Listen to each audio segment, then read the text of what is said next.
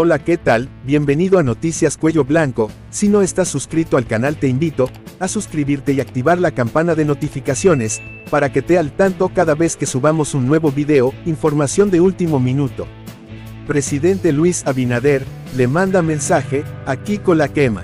El presidente Luis Abinader pidió al hombre identificado como, Kiko la quema, líder de un peligroso grupo criminal en San Cristóbal desalojado de Cambita Garavito, que se entregue por los medios adecuados. Ese es uno de los, él lo sabe, es uno de los top 1 que tenemos en la fuerza de tarea, su lugar teniente desgraciadamente está en 29 y gran parte de su personal está cercado también y lo que le conviene es entregarse. Ya no va a encontrar más apoyo ni a nivel medio ni más alto, advirtió el presidente. Este hombre es José Antonio Figuereo Bautista, también conocido como Kiko la Quema. Dijo que era un narcotraficante de mucha monta de San Cristóbal y que estaba prófugo. Es la misma persona que nombró Ramón Tolentino en la operación hace unas semanas. Según un comunicado de la Policía Nacional, Rodríguez Rodríguez, alias Pupi Jr., identificado como el teniente, Kiko la Quema, fue ultimado a causa de heridas de bala durante un ataque a policías que intentaban detenerlo. Después de una lucha, la policía confiscó la Glock de 9 milímetros que poseía ilegalmente y la utilizó para atacar al oficial de patrulla.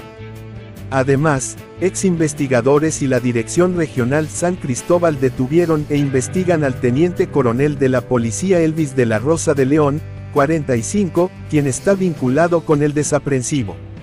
Jonathan Emiterio Lorenzo, de 38 años, también fue detenido mientras conducía un Jeep Land Cruiser Prado modelo 2007, color verde, placa G065019, no coincide con el vehículo. El vehículo pertenecía al citado delincuente, José Antonio Figuereo Bautista, y en el baúl contenía alimentos para ser llevados al escondite del traficante. El lunes, los colegios Cambita y los Cacaos de la zona educativa 04-01 de San Cristóbal suspendieron clases para proteger la integridad física de los estudiantes y de todos los docentes de la comunidad debido a la persecución de los perpetradores desaprensivos. Mientras que por otro lado, una jovencita originaria del cruce del municipio de Estebanía, identificada como Stacy Valdés, se encuentra extraviada y ha causado gran desesperación entre sus seres queridos y toda la comunidad. Según informan sus familiares, la muchachita salió de su hogar alrededor de las 5 y 45 de la mañana de ayer martes.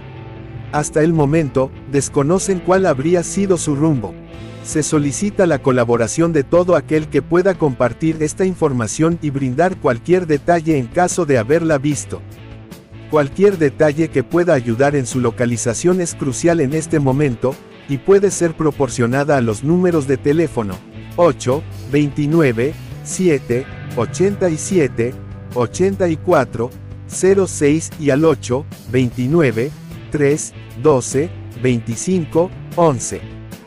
La señora identificada como Mercedes Jimena Reynoso ha contactado al medio digital Cenobit Te Informa para presentar una denuncia contra un mecánico conocido como El Varón.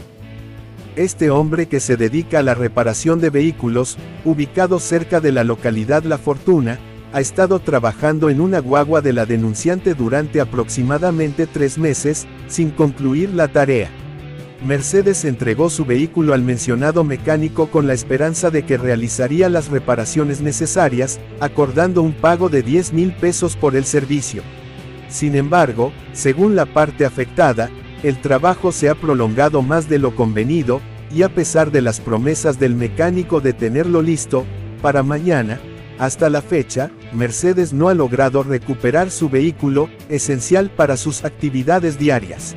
Estaremos atentos al desenlace de esta situación y a la respuesta del mecánico ante las acusaciones presentadas por Mercedes.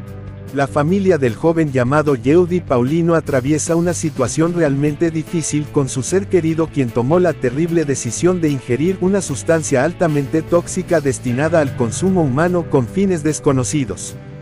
Yeudi, quien vive en tierra dura, Moca, pasó un momento difícil. Aunque aún conserva funciones vitales, su delicado estado de salud genera preocupación en la zona en donde vive. Quisiéramos pedir a nuestra redacción que nos envíe una serie de oraciones por su pronta recuperación y para que reciba la ayuda que necesita para superar aquello que lo agobia y lo lleva a tomar la fatal decisión de terminar con su vida. Es importante que su familia se una a la comunidad para ofrecer apoyo y solidaridad durante este momento difícil y tristes. Por el momento es toda la información que tenemos gracias por sintonizar Noticias Cuello Blancos.